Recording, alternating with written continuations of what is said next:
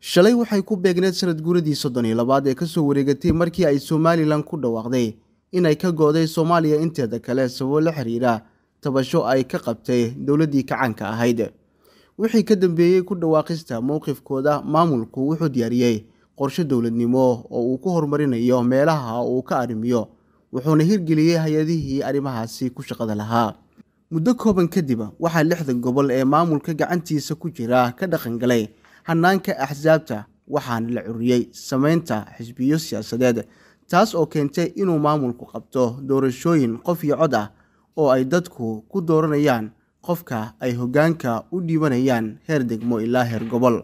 Hanaankaas dimuqraadiyadeed ee hirgalay iyo nabadda deegaanada maamulka ayaa noqotay mid soo jiidatay caalamka intiisa kale gaar ahaan dowladaha daneeya arrimaha soomaaliya. Hase ahaatee aragti ka duwan taas waxaa qabay muddo dheer dadka ku nool deegaanada maamulka kuwaasi oo aaminsanaa in axsaabta iyo talada maamulka ay isku koobeen hal hayb oo qura oo ah kuwa imika talada haya. Awoodda ugu sarreysa maamulka oo aan loo dhammayn waa tan soo dedejisay colaadda laasacanood xilligan ka taagan taas oo afar biljirsatay dagaalka laasacanood ee daba dheeraaday waa mid soo koobaya hamiga madax banaanida ay soddon iyo labo sano raadinayso somalilan. Waxaana maalinba maalinta ka dambeysa kordhaya khasaaraha ka dhalanaya dagaalkaasi. Waxaa xaaladda sii adkeynaysa mowqifka isimada iyo bulshada reer laasacanood kuwa oo ka biyadiiday in ay maamulka la fadhiistaan sababo la xiriira khasaarihii xooganah ee ka soo gaaray dagaaladii dhacay.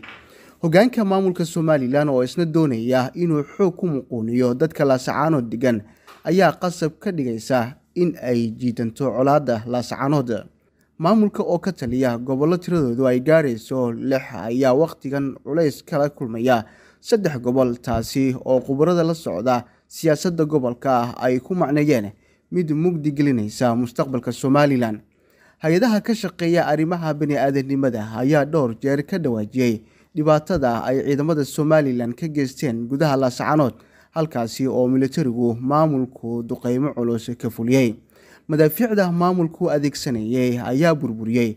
Xarumo caafimaad kuwo waxbarasho iyo masaajido lagu cibaadeysan jiray.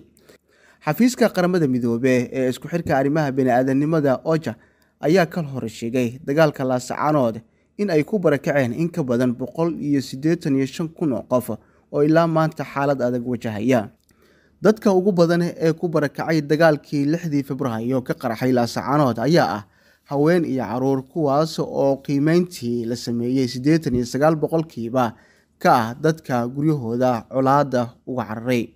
Bilowgii bishii februaayo oo ah markuu dagaalku qarxay wixii ka dambeeyey waxaa istaagay dhaqdhaqaaqii nololeed ee ka jiray laasacanood oo ay dadkeedu imika baylaha ku yihiin deegaanka kalabeyr ee gobolka sool oo ah goobta ay gaareen tirada dadkii ugu badnaa ee laasacanood ka hayaamay magaalada laasacanood ayaa maanta u muuqaal eeg furin dagaal iyadoo duleedkeeda ay isku hor fadhiyaan ciidamada somalilan iyo xooga s s c.